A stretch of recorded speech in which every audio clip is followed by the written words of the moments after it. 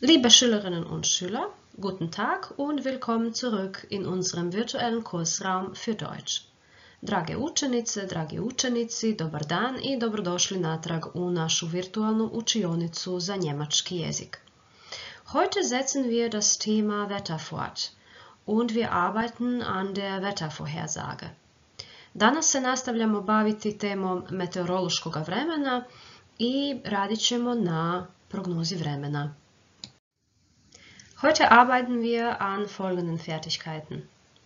Das Wetter beschreiben, einen Text zum Thema Wetter verstehen, eine Wettervorhersage verstehen, ein Video zum Thema Wetter verstehen und einen kurzen Dialog zum Thema Wetter nach Vorbild schreiben.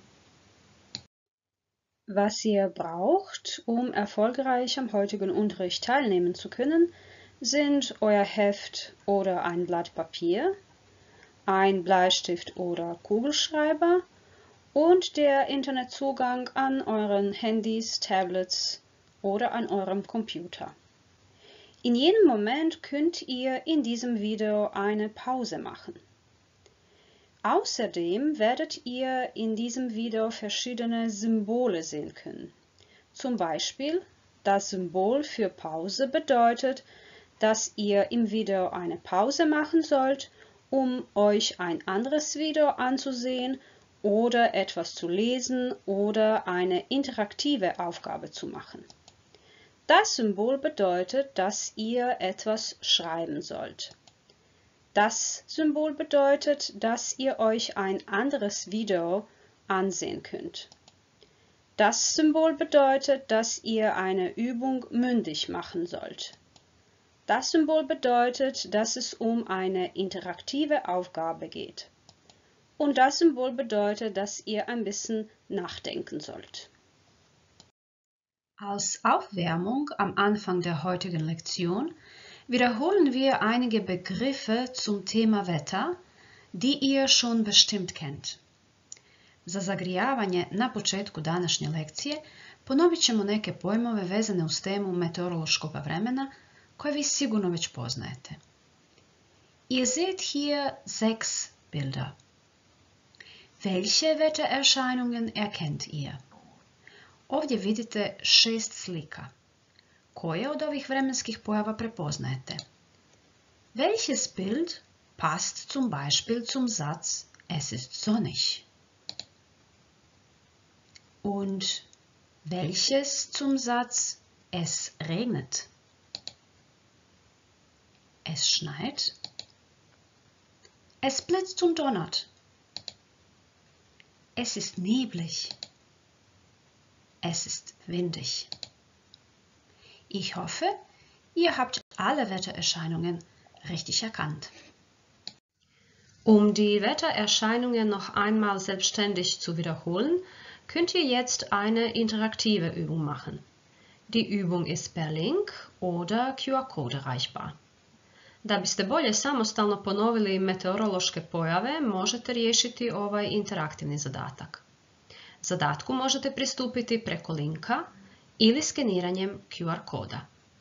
Link glasi bit.ly kosa crta veliko duplo V e t t e r veliko F O, T, O, S. Pausiert jetzt bitte die Videoaufnahme und macht die Online-Übung. Zaustavite snimku i riješite online zadatak. Wiederholen wir weitere Begriffe aus der vorigen Lektion zum Thema Wetter.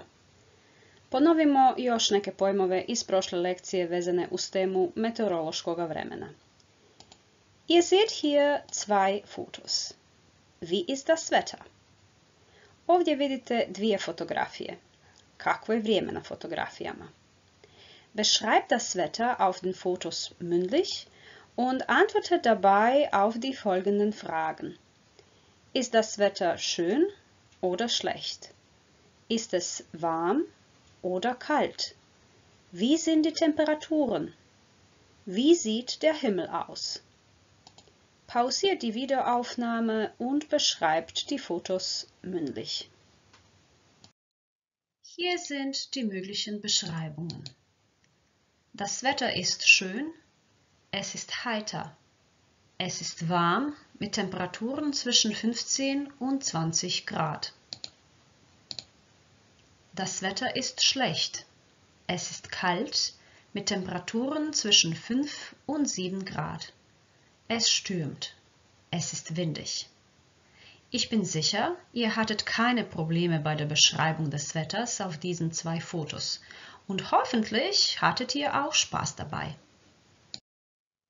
Das Wetter ändert sich. Heute kann es schön, heiter und warm sein, morgen kann es schon kalt sein und regnen. Wie ist das Wetter heute bei euch? Bei mir ist das Wetter heute schön. Die Sonne scheint und es ist warm. Und wie wird das Wetter morgen sein? Was steht in der Wettervorhersage? Morgen wird das Wetter schlecht sein. Es wird regnen und es wird kalt sein. Zum Thema Wettervorhersage findet ihr hier noch eine weitere interaktive Aufgabe. Die Aufgabe ist per Link oder QR-code erreichbar. Ovdje se nalazi još jedan interaktivni zadatak vezan uz vremensku prognozu. Zadatku možete pristupiti preko linka ili skeniranjem QR koda. Link glasi bit.ly kosa crta veliko duplo V E T T E R veliko S A, T, Z i brojka 2. Pausiert jetzt bitte die Videoaufnahme und macht die Online-Aufgabe. Zaustavite snimku i riješite online zadatak.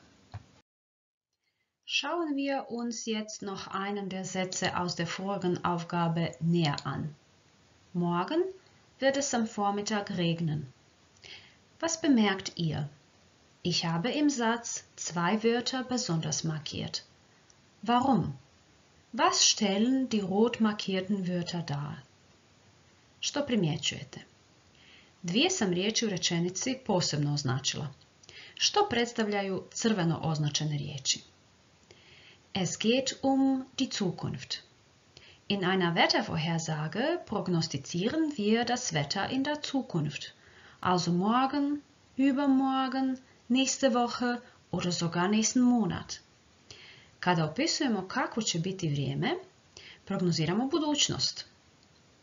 Und wenn wir über die Zukunft sprechen, gebrauchen wir meistens das Futur 1. Und diese Zeitform habt ihr schon bestimmt kennengelernt. Wiederholen wir. Futur 1 bildet man mit dem Präsens von werden und dem Infinitiv des Vollverbs. Das Präsens von werden steht im Satz an der zweiten Stelle und das Infinitiv steht am Ende des Satzes. Da ponovimo. Futur prvi se u njemačkom jeziku tvori od prezenta pomoćnog glagola werden i infinitiva zadanog glagola. Oblici prezenta glagola werden stoje na poziciji broj 2 u rečenici, dok infinitiv zadanog glagola stoji na kraju rečenice. Wiederholen wir auch die Präsensformen vom Hilfsverb werden. Ponovimo i oblike prezenta pomoćnog glagola werden. Ich werde, du wirst, er sie es wird, wir werden, ihr werdet und sie sie werden. Das Verb werden ist ein Hilfsverb und es ist ein unregelmäßiges Verb. Dakle, glagol werden je pomoćni glagol i nepravilan je. Um die Futur 1 Formen selbstständig zu wiederholen, könnt ihr jetzt eine interaktive Übung machen. Es geht um einen Lückentext. Ihr sollt die Formen im Futur 1 ergänzen. Die Übung ist per Link oder QR-Code erreichbar. Link glasi. Bit.ly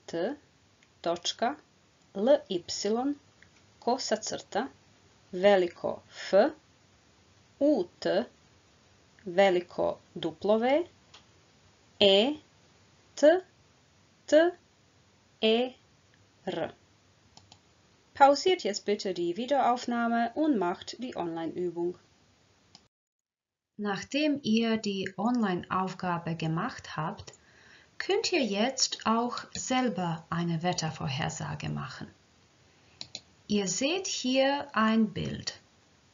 Das Bild zeigt, wie das Wetter morgen sein wird. Ihr sollt anhand des Bildes das Wetter für morgen prognostizieren. Also wie wird das Wetter morgen sein? Wie ist die Wettervorhersage? Pausiert jetzt bitte die Videoaufnahme und beschreibt das Bild mündlich. Achtet dabei auf die Foto 1 Formen. Und hier ist eine mögliche Antwort. Am Morgen wird das Wetter schön sein. Am Vormittag wird die Sonne scheinen. Es wird warm sein mit Temperaturen zwischen 18 und 22 Grad. Am Nachmittag wird sich das Wetter verändern. Es wird wolkig und kalt sein mit Temperaturen zwischen 10 und 15 Grad. Und nun könnt ihr euch ein Video zum Thema Wetter ansehen. Im Video telefoniert ein Mädchen mit seiner Freundin und sie sprechen über das Wetter. Ihr sollt das Wetter im Video beschreiben und dabei die zwei Fragen beantworten. Wie ist das Wetter bei Selma und wie ist das Wetter bei Lisa? Das Video ist per Link oder QR-Code erreichbar. Link glasi bit.ly kosa crta veliko duplo V E T T E R veliko V, I, D, E, O. Pausiert jetzt bitte diese Videoaufnahme, schaut euch das Video zum Thema Wetter an und notiert eure Antworten. Und hier sind die möglichen Antworten. Wie ist das Wetter bei Selma? Es ist bewölkt. Am Abend wird es regnen. Morgen wird es noch kälter sein der Himmel ist grau und es sind sieben Grad. Wie ist das Wetter bei Lisa? Es ist sonnig und es sind 20 Grad. Und nun sollt ihr eine Webseite besuchen und euch dort ein Beispiel der Wettervorhersage anschauen. Die Webseite ist per Link oder QR-Code erreichbar. Link glasi bit.ly kosa crta veliko duplo V E T T E R veliko D T. Pausiert jetzt bitte die Videoaufnahme, besucht die Webseite und lest den Wetterbericht für Deutschland.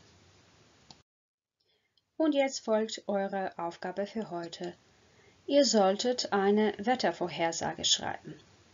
Dabei sollt ihr euch das Video zum Thema Wetter noch einmal anschauen, wo ein Mädchen mit seiner Freundin telefoniert und sie über das Wetter in den nächsten Tagen sprechen. Ihr sollt nach diesem Beispiel einen ähnlichen Dialog schreiben, wo zwei Personen die Wettervorhersage in zwei unterschiedlichen Klimaregionen in Kroatien einander darstellen. Das Video ist per Link oder QR-Code erreichbar. Link glasi bit.ly kosa crta veliko duplo V E T T E R veliko V I, D, E, O. Und hier sind noch ein paar Impulse als Hilfe beim Schreiben. Auf dieser Webseite könnt ihr eine Wetterkarte für Kroatien finden. Die Wetterkarte ist per Link oder QR-Code erreichbar. Link glasi bit.ly kosa crta veliko duplove e t t e r veliko k r. Weiterhin folgen einige Beispiele. Zum Beispiel Schime aus Dalmatien telefoniert mit seinem Freund Franjo aus dem kroatischen Bergland. Was könnten sie einander über die Wettervorhersage erzählen? Bei uns in Dalmatien wird es morgen schön und sonnig sein. Bei uns im kroatischen Bergland wird es morgen regnen. Oder Lucia aus Slawonien telefoniert mit ihrer Freundin Chiara aus Istrien. Bei uns in Slawonien wird es morgen warm sein, mit Temperaturen gegen 22 Grad. Bei uns in Istrien wird es morgen stürmisch sein und der Wind wird wehen. Ich wünsche euch viel Spaß beim Schreiben. Na samome kraju današnje video lekcije možete si postaviti nekoliko pitanja kako biste procijenili vlastiti napredak u učenju njemačkog jezika. Also, kann ich das Wetter beschreiben? Kann ich einen Text zum Thema Wetter verstehen? Kann ich eine Wettervorhersage verstehen? Kann ich das Futur erkennen und im Satz richtig gebrauchen? Kann ich ein Video zum Thema Wetter verstehen? kann ich einen kurzen Dialog zum Thema Wetter nach Vorbild schreiben. Vielen Dank für eure Zusammenarbeit und eure Aufmerksamkeit und bis zum nächsten Mal.